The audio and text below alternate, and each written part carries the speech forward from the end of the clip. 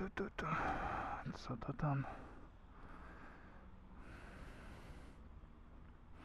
Cześć moi drodzy, witam was w kolejnym vlogu. Viking zatankowany pod korek, więc można zaczynać. Uprzedzę pytania, jeżeli ktoś się zapyta ile pali Viking. Viking pali wszystko. Viking jest po to, żeby jarać paliwo, a nie żeby je oszczędzać. Z takim zamiarem został kupiony i nie ukrywam, że się bardzo dobrze do tego nadaje. To cóż, odpalamy i jedziemy. Dobra, poszli. Poszlimy.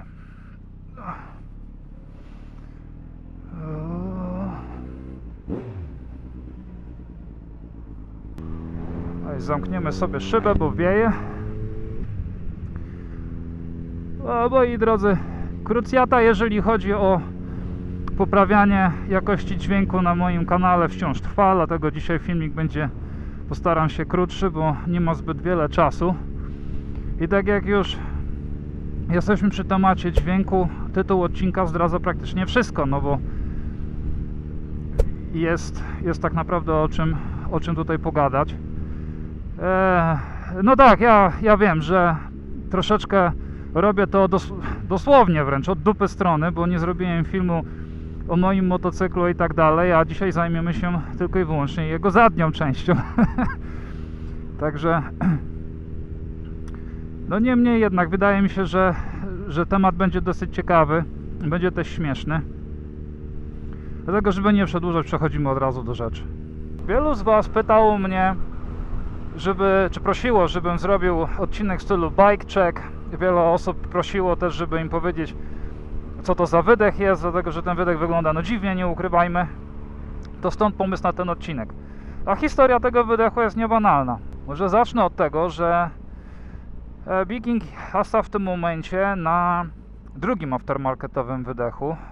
A pierwszym wydechem, który był zainstalowany w tym motocyklu to były puszki od Two Brothers Black Series, całe karbonowe, przepiękne, świetnie chodziły, świetnie brzmiały, naprawdę wyglądały jak takie wyrzutnie kartofli.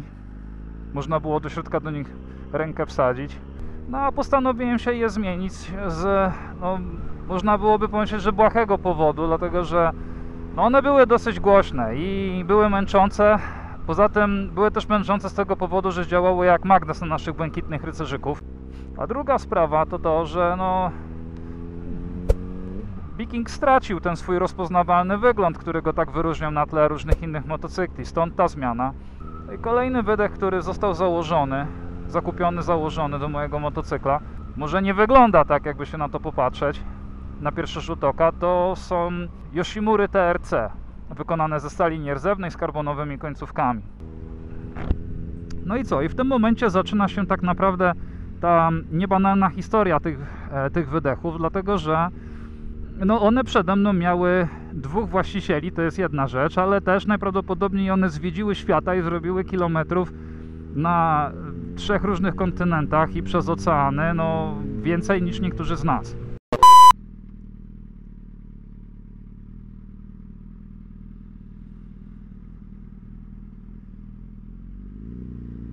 Co tu się wydarzyło?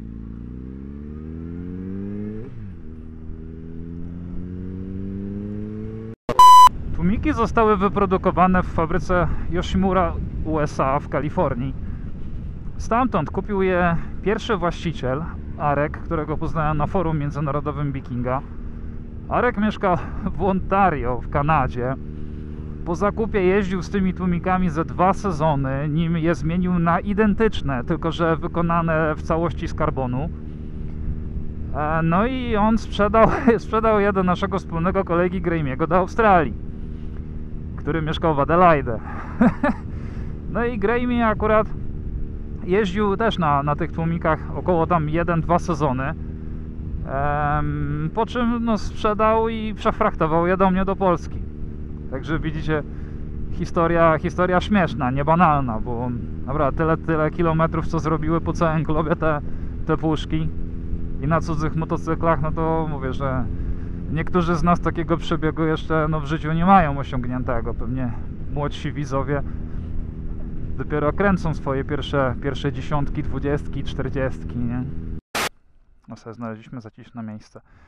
E, słuchajcie, to było też tak, że po wszystkim, kiedy Gremius demontował e, tłumiki ze swojego motocykla, no to je no, odrestaurował, wyczyścił je dokładnie, roznitował, przepakował, z powrotem zanitował i dokonał pewnej modyfikacji, e, dzięki której tak naprawdę no, ja się bardzo zainteresowałem zakupem tych, e, tych tłumików od niego.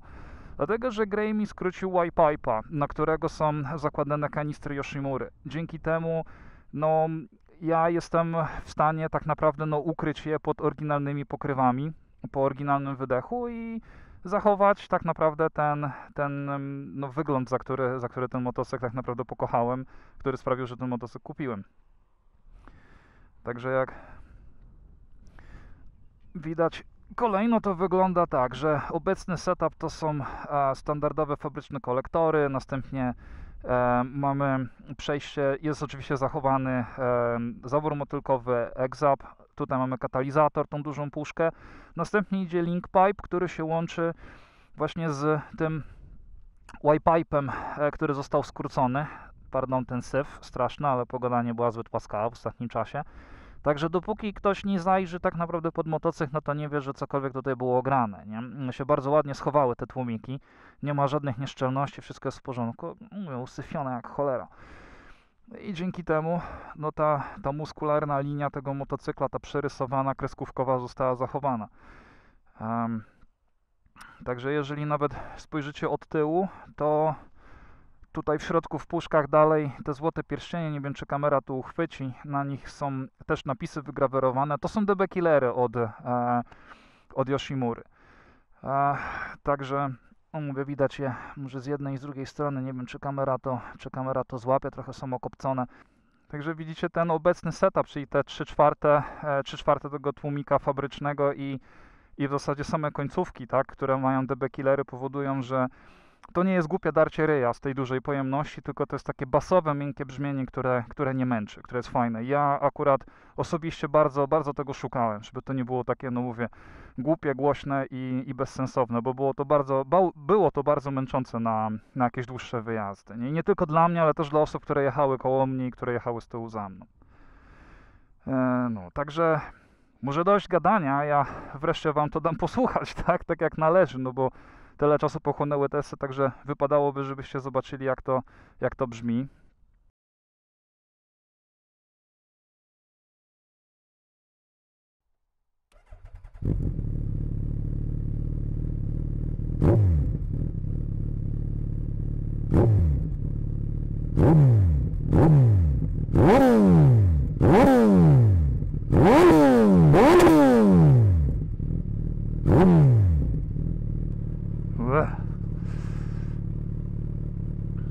Się pójdziemy przejechać w takim razie.